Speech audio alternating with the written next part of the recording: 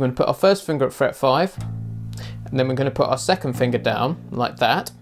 Now this is where our thumb comes into play and our thumb ideally goes behind the second finger thereabouts. If you look closely there, this part of the thumb is what's touching the fingerboard. It's not like some people end up doing something like that, it's that. Okay, so we have that.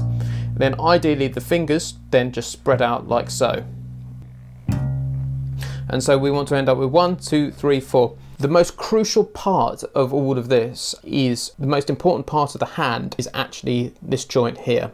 And what it does is it allows us to create a claw effect. Imagine that you're grabbing hold of something like that. It's actually these muscles which give us the dexterity to play the bass. With guitar, they're even more critical because they allow open strings to ring and that kind of thing, but they're just as important on the bass. So when we're doing like this, we want to have our fingers nice and upright, like that.